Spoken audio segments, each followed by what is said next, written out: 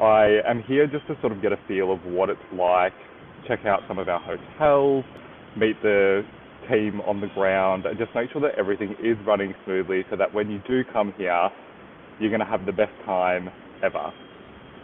Um, any questions that you might have along the way, feel free to pop those into the comment section.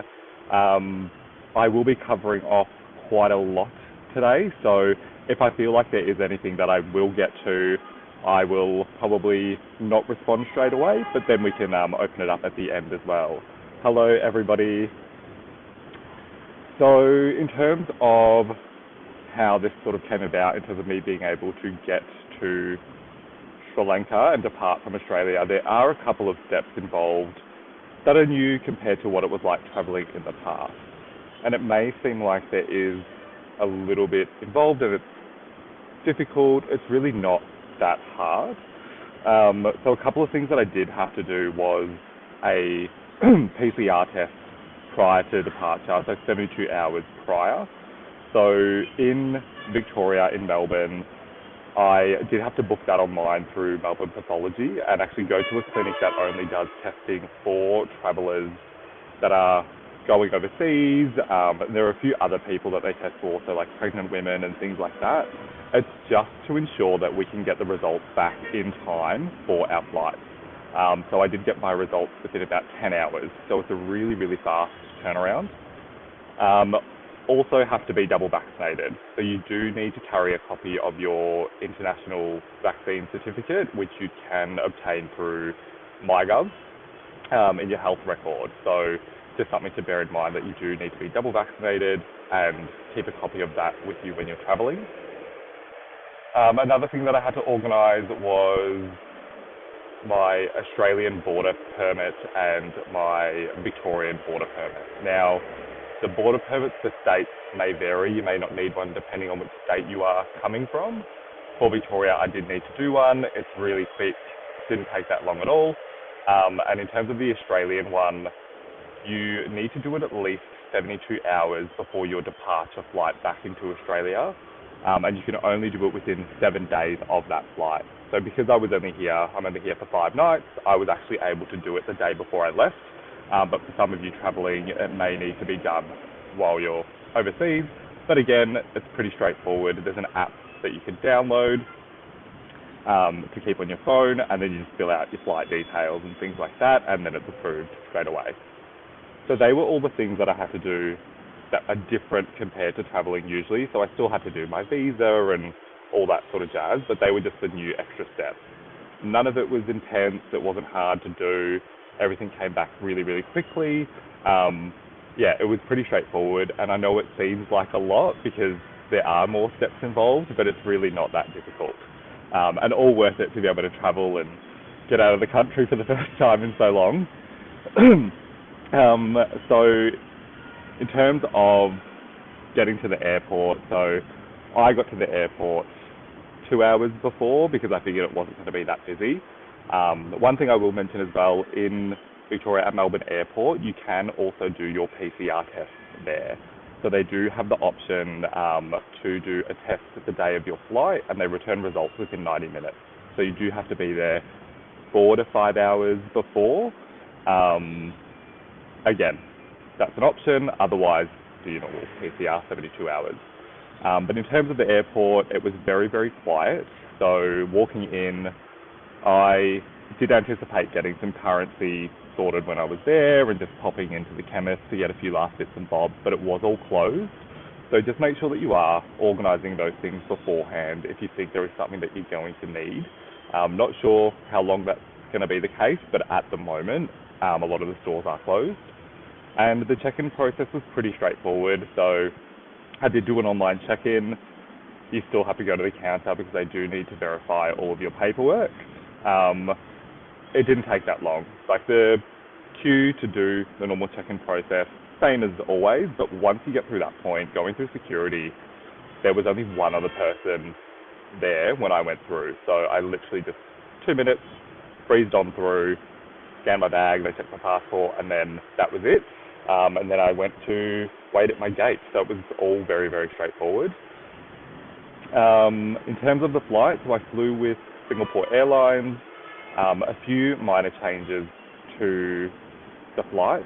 So they have removed magazines and things like that um, at the back of seats just for safety and COVID protocols. Um, and they also do give you a a little packet that has a sanitary item, so like a face mask and sanitizer. Um, that also has QR codes on the back of it. So your in-flight menu, you scan with the QR code. Um, it's just that way to minimise people touching things on the flight, um, which was again easy, straightforward. But otherwise, you do have to also wear your mask for the entirety of the flight. One hot tip is I find personally the surgical mask the most comfortable for longer periods of time. So if you are traveling, I definitely recommend taking quite a few of those with you. Um, but otherwise, yeah, flight pretty standard, pretty normal. I found the food actually really good on Singapore Airlines, and I'm normally a pretty fussy eater. Um, but no, it was it was great. Um, transiting as well, it was pretty straightforward. There was nothing that I really had to do in Singapore. It was just go to my next gate, board, pretty standard.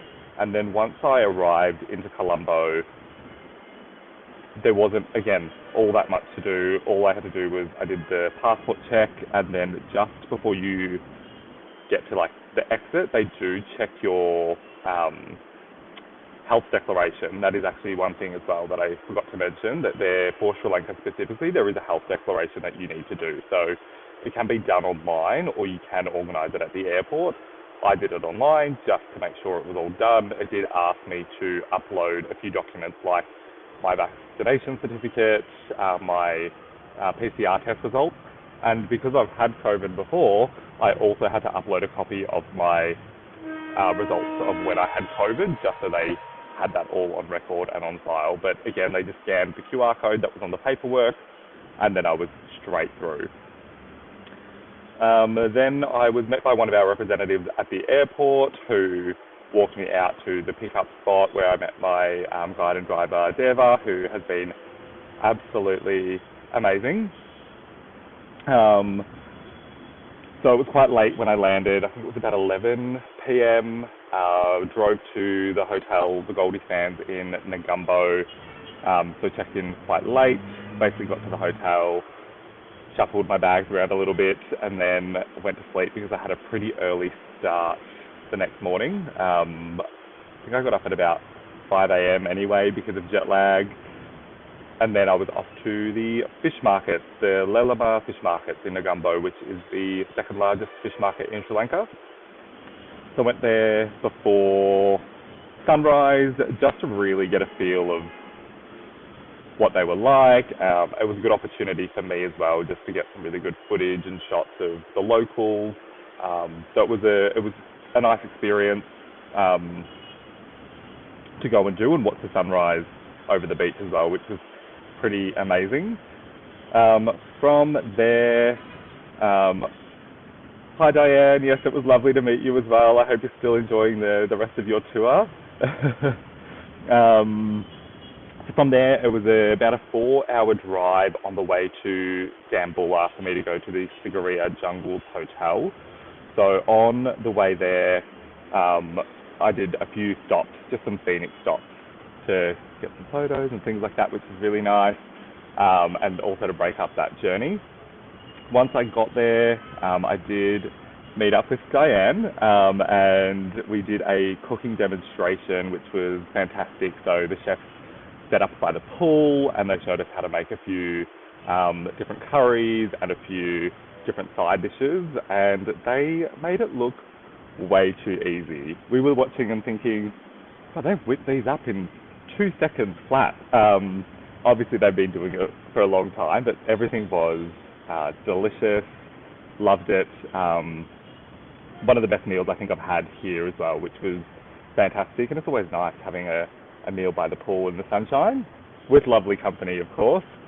Um, so from that, I then sort of chilled out a bit by the pool, and then it was straight onto the elephant safari at um, National Park. So that was great in the jeep.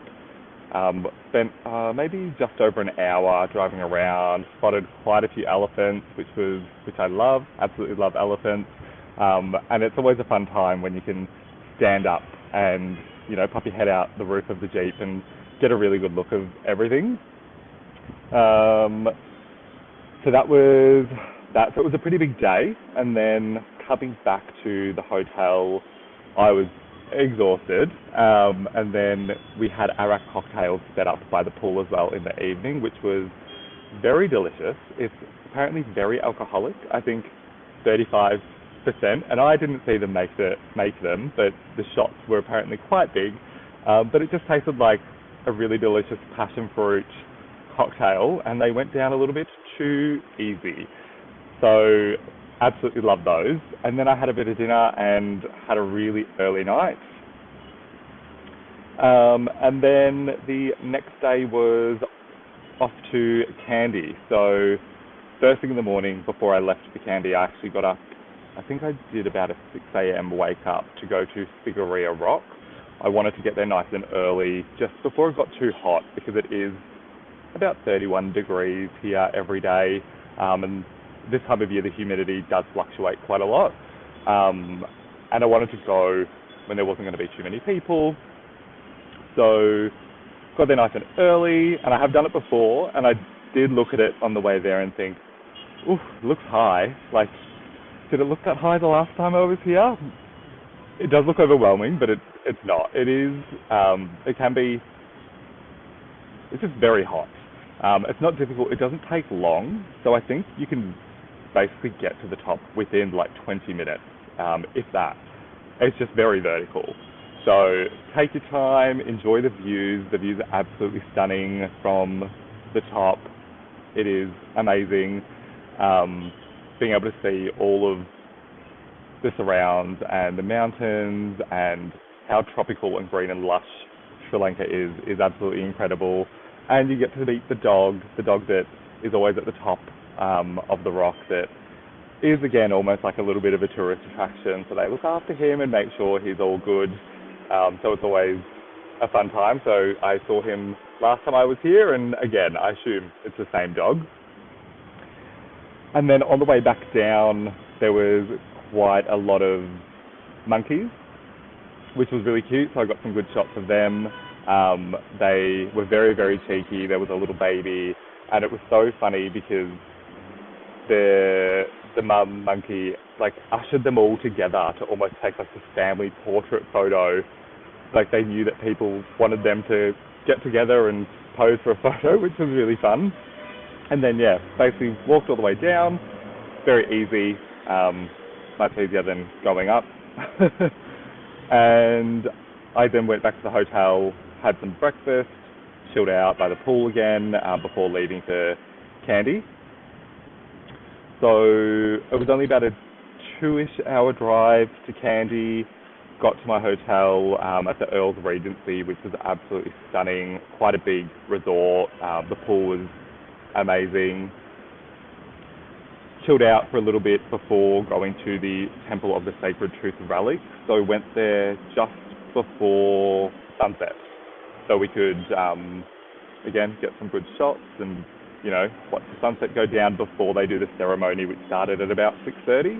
So went through the temple, and then they started the ceremony, which was which was really nice. So they have um, the monks come through, and they have um, performers, and then they open a casket at the end, which I tried my hardest to get a photo of. I was there front and center, but as soon as that thing opens, everybody rushes through, and like it was almost impossible to try and to try and capture on my camera. Um, but it was a really nice, authentic experience to be able to to do, uh, which again I've done it before, loved it the last time, loved it this time again.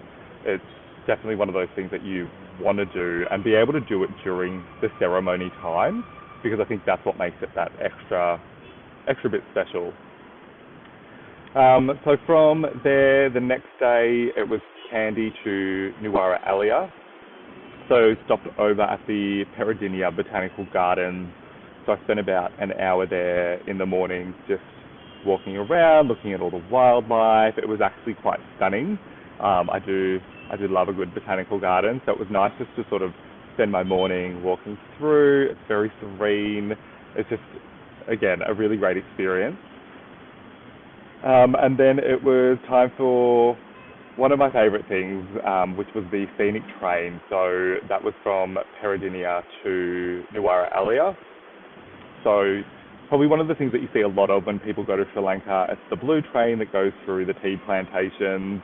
Although I was on one of the newer trains, which is like a blue and red kind of number. I do I do prefer the look of the older trains, um, but it was still a fantastic journey.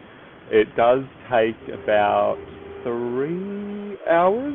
Um, it does move quite slow, um, but once you do go through those tea plantations, the views are absolutely stunning. Um, I loved it. You get to, if you when you're in first class, there is a viewing deck that you can go to where the doors are open. So it's a really good spot for you to be able to get some photos, um, film some footage, and just even like sit there. I did for quite a while when you know people were sort of done and dusted with wanting to get their photos. It's just nice sitting there and watching the view and having the breeze come through, and it's it's absolutely magical. So if you are someone that loves train journeys, this is definitely one that needs to be on your bucket list that you need to do for sure. Um, so then I arrived into Nuwara Eliya at about, I want to say about three-ish o'clock in the afternoon. So I checked into the Grand Hotel, which was, my goodness, it was a destination in itself. Um, I got there and they did a site inspection for me, which I'm really glad that they did.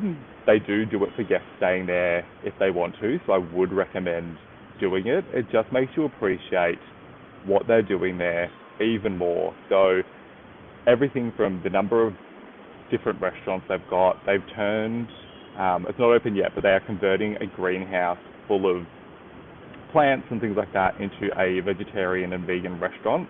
And I think it is very exclusive. It only seats four people, which I think is great. Um, they also have a special Japanese teppanyaki in the kitchen with the chef that, again, I think seats about eight people that you can book. Um, they have an Indian restaurant, a Thai restaurant, their regular restaurant with mixed foods. They've got a bakery on site, a cafe.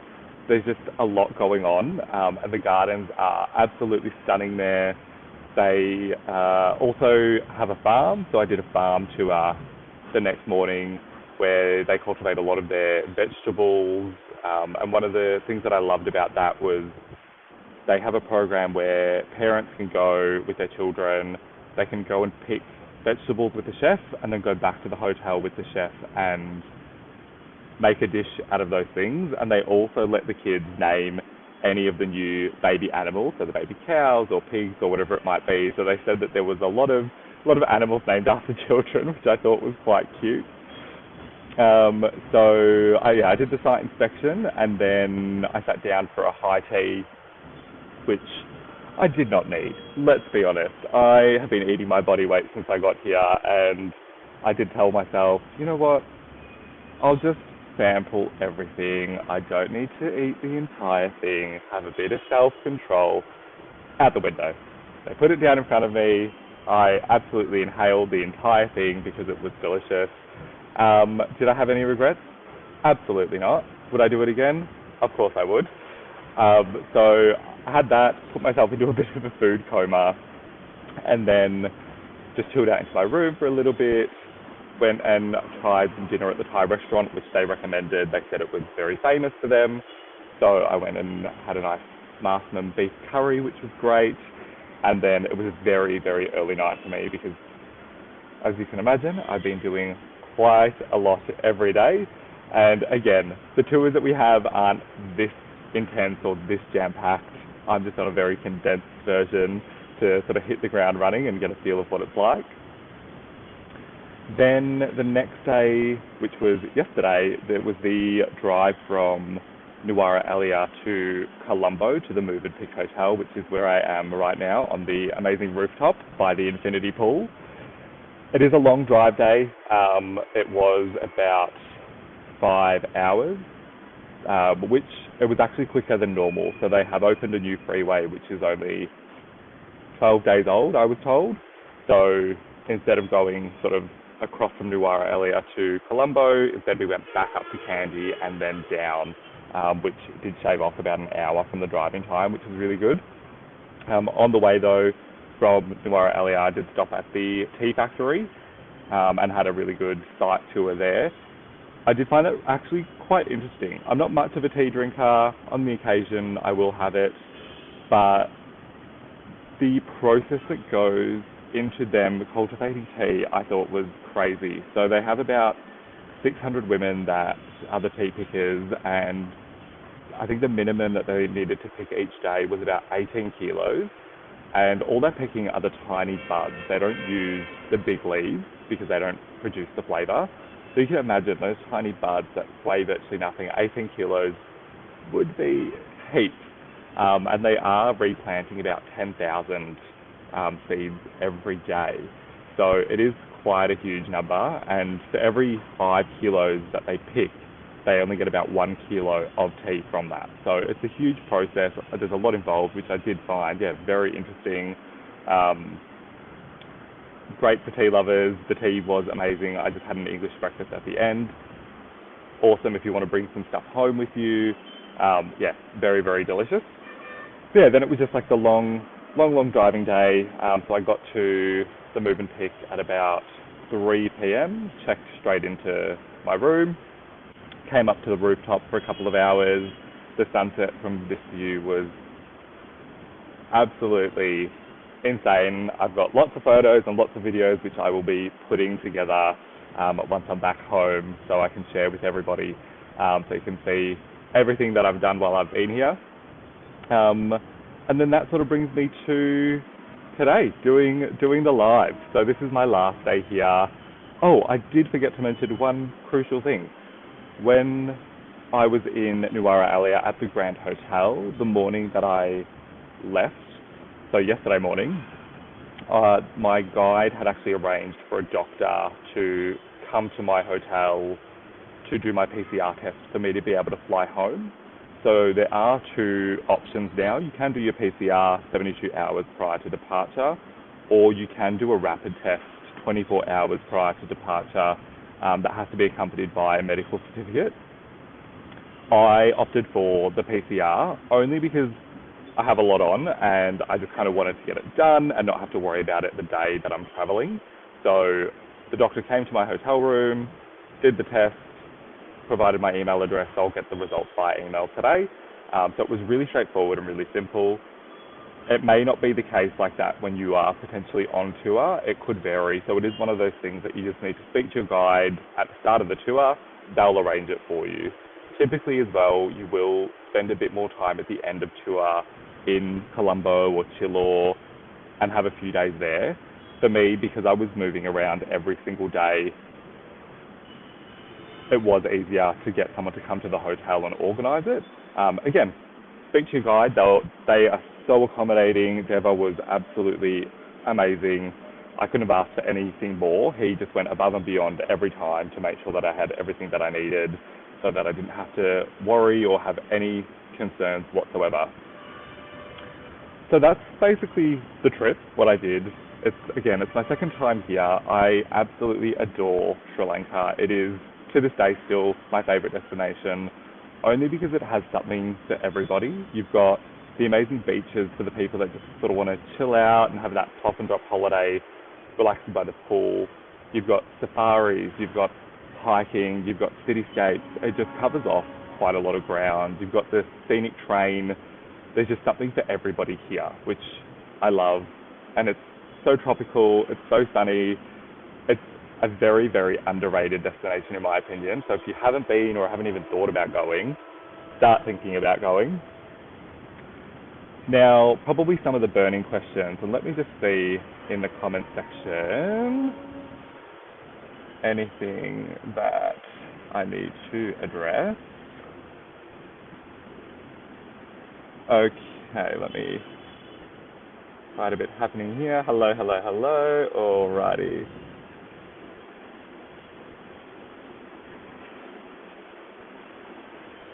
Alrighty, Paul, taking rupees before I leave for Australia? If so, how much? Or wait until you get to the airport and exchange in Sri Lanka?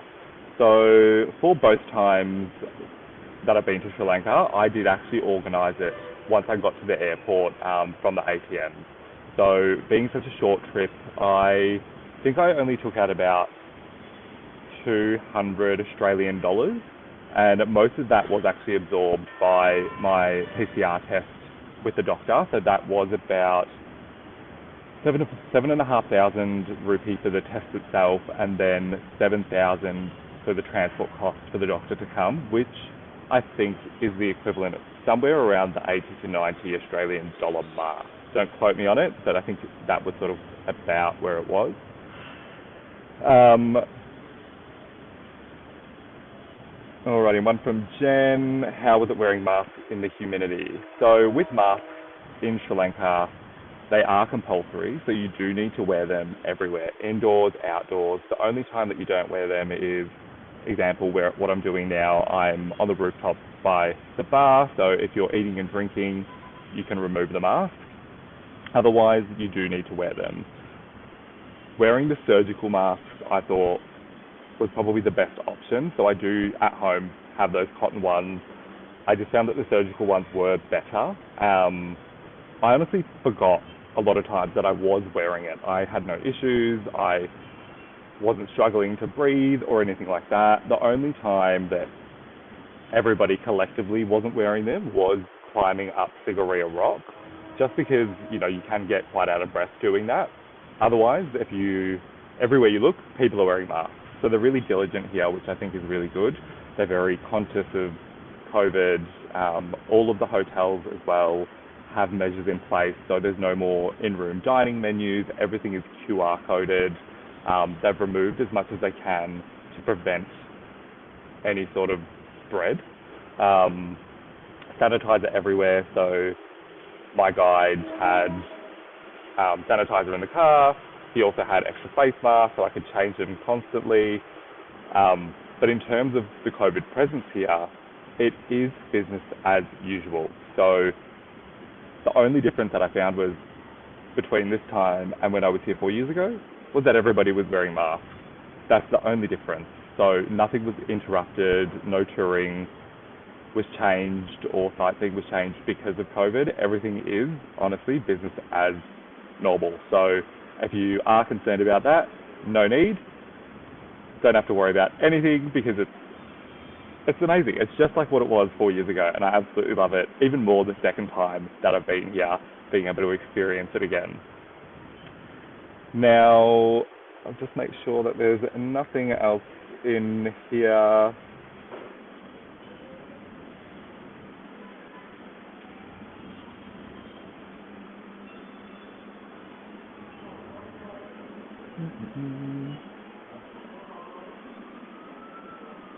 Okay, I think that's all the questions in the comments section. Uh, what about the photo op? Mask or not allowed? Um, it is, I guess, you should be wearing a mask at all times. Obviously, there may be some instances if it's going to, like similarly in Australia, you do need to use your discretion and your judgment. I would always recommend keeping it on because it is a requirement here.